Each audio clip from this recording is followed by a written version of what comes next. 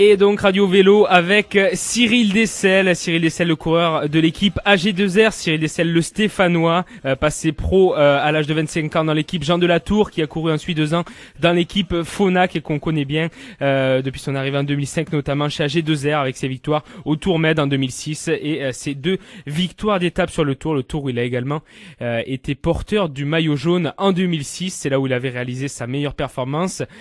Cyril Dessel, maillot jaune donc sur le Tour 2006 qui a écrit un livre avec euh, ce titre Mon rêve en jaune au pays des verts et nous l'avons avec nous Cyril Dessel. Il nous fait l'honneur d'être sur Radio Occitanie. Cyril, est-ce que vous m'entendez? Oui, oui, bonsoir. Bonsoir et, merci d'être avec nous euh, sur Radio Occitanie donc pour présenter euh, votre livre mais également parler un petit peu de vous parce que je crois que la saison a déjà un petit peu commencé. je crois que vous étiez en, stage cette semaine. Oui effectivement on est en stage depuis lundi au Temple sur Lot dans Lot donc euh, c'est le premier rassemblement de l'année, il n'y avait pas tous les coureurs euh, qui étaient présents, mais c'était l'occasion d'intégrer euh, toutes les nouvelles recrues et de, commencer un petit peu à faire connaissance, à souder le groupe et rouler un petit peu ensemble. Alors, euh, avant de parler un petit peu donc de cette saison 2010 qui se profile euh, pour vous sous le maillot euh, d'AG2R, on va parler un petit peu de ce livre qui est sorti donc aux éditions Phénicie la semaine dernière, Mon rêve en jaune au pays des Verts. Et d'entrée, j'ai envie de dire, Cyril, avec ce titre, on sent que dans votre cœur, il y a, il y a deux sports. Hein. Oui, ben c'est vrai que on essaye de, de faire ressortir les passions. Donc ma première passion qui a été le foot.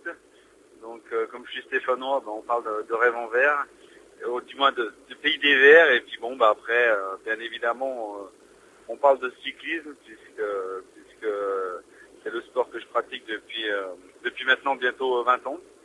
Puisque j'ai pris ma première licence en 90, donc donc, voilà. Et bon, bah les rêves en jaune lorsqu'on est coureur cycliste, c'est forcément le clin d'œil autour de France et, et à ce fameux maillot jaune.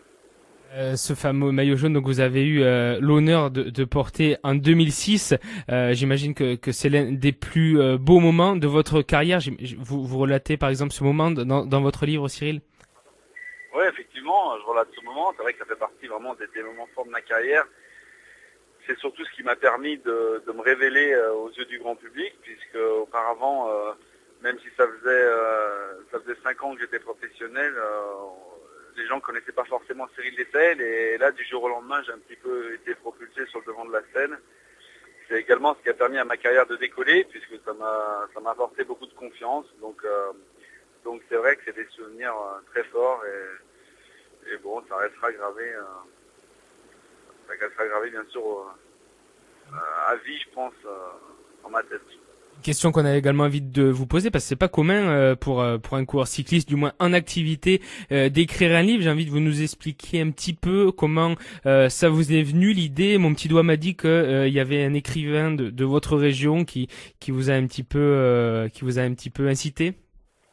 Oui, c'est vrai que bon, en principe, les, les sportifs attendent plutôt la, la, fin de leur carrière pour, pour, pour raconter un petit peu leur, leur histoire, leur autobiographie.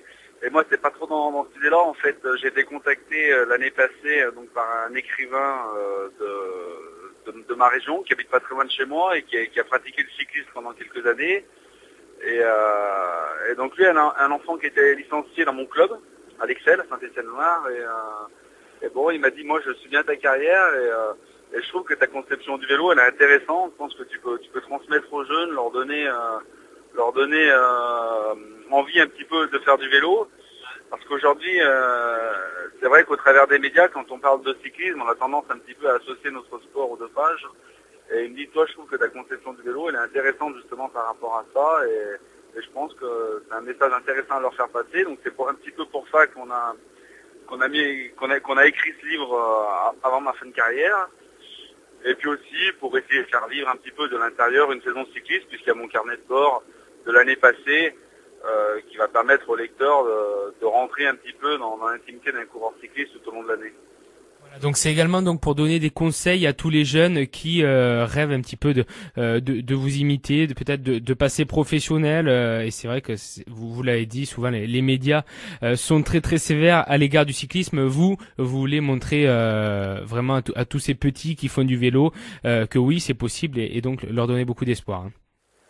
Voilà, c'est un petit peu ça le message. Je pense que je pense qu'aujourd'hui, euh, bah, il peut y avoir des, euh, des jeunes qui peuvent être découragés justement par rapport à par rapport au fait que le dopage est souvent associé à notre sport. Il peut y avoir aussi des parents qui peuvent être inquiets d'inscrire leurs enfants à l'école de cyclisme parce qu'ils peuvent se dire mais bon le cyclisme euh, est-ce que pour réussir, il faut pas se doper? Voilà. Et moi, je pense que le message, c'est de dire que bon, aujourd'hui, on peut réussir à faire une carrière au plus haut niveau sans se doper. Donc, c'est un petit peu le message que, le message rassurant que je veux donner euh, euh, au travers de mon livre. Et bon, après, je suis pas non plus un donneur de leçons. Je vais pas donner des leçons. Il n'y a pas de solution miracle, mais mais, mais bon, je pense que ça peut être intéressant effectivement pour les jeunes. avant de parler de, de, la saison 2010 qui se profile, Seb, Philippe, peut-être des questions sur le livre de Cyril? Oui, bonjour Cyril. Vous, vous parlez de transmettre euh, donc un savoir aux jeunes. Est-ce que cela signifie que dans votre après-carrière, vous souhaitez vous tourner vers euh, la formation, intégrer des pôles espoir pour euh, pour ramener certains jeunes à réaliser leurs rêves comme vous, vous avez pu le faire? Oui, bah pourquoi pas. Aujourd'hui, j'ai pas encore j'ai pas encore arrêté exactement ce que sera ma reconversion, mais c'est vrai que le domaine du vélo, c'est quelque chose que je commence à connaître pas trop mal. J'ai pas mal de vécu et, et je pense que je pourrais avoir des conseils intéressants à donner aux jeunes. Donc, euh, donc c'est vrai que si j'ai la possibilité, euh, si j'ai la possibilité, c'est quelque chose que, qui pourrait être, euh, qui pourrait me plaire. Et, et bon, après on verra si, si, si autour de moi j'ai des, on me, tend, on tend une perche, par exemple, dans les clubs, dans les clubs de ma région. C'est vrai que quand on était coureur cycliste, on, on, a une vie où on, quitte souvent la maison et peut-être que ce sera l'occasion de d'aider les jeunes dans ma région. Philippe, Philippe, une question peut-être un petit peu de il parlait de sa région, et je voulais dire ce, que dit un autre, livre, puisque là il a écrit un livre, le, guide Verni de, Saint-Etienne, la ville où on fabriquait tout. effectivement, c'est une région qui a fabriqué beaucoup de, champions cyclistes, on évoquera tout à l'heure Roger Rivière, mais je voulais que, tu nous parles un petit peu de, ce que tu as apporté ta région, en particulier le, paysage, tout ça, le, le vivier pour les, pour le cyclisme, je crois que c'est quand même une région qui est également une très grande région de cyclisme en France, peut-être après la Bretagne, mais enfin une grande région de cyclisme, en particulier le col de la République, qui, dans le Tour de France, a toujours été magnifique. Oui, ben c'est sûr que c'est une belle région pour, euh, pratiquer le cyclisme. Euh, il y fait un petit peu froid l'hiver malheureusement. Mais, euh, bon, c'est vrai qu'à partir du mois de mai, je trouve des, terrains, des terrains d'entraînement qui sont propices à travailler dans, dans l'école, puisque même si c'est pas de la haute montagne, j'ai pas mal de, de cols de moyenne montagne, comme vous avez dit, le col de la République, le col de Lyon, le col de la Croix de Chabouret, qu'on escalade régulièrement sur, sur Paris-Nice ou sur le Dauphiné, euh, le Tour de France a souvent fait escale également euh, sur Saint-Etienne. Et euh, bon, c'est une région où, on aime beaucoup le vélo. on aime beaucoup le vélo et, et c'est vrai que moi j'y suis très attaché. Je suis très attaché, j'y suis toujours resté fidèle et, et elle me le rend bien lorsque lorsque les courses cyclistes passent dans, passent dans, le coin. c'est vrai que je reçois tout le temps un accueil formidable. Euh, on sent que le public est très fidèle, un petit peu à l'image du public stéphanois euh, euh, pour les pour les Saint-Étienne. Donc donc c'est vrai que moi moi je suis très attaché à ma région et, et je ne vois vraiment pas la quitter. Eh ben, eh ben merci Cyril. Oui, Philippe, tu, tu voulais Étienne, c'était aussi sur le maillot des Verts Manu France et Manu France, n'oublions pas que c'était un grand, très très grand fabricant de cycles qui a fait beaucoup beaucoup de vélos jusqu'à les aux années on va se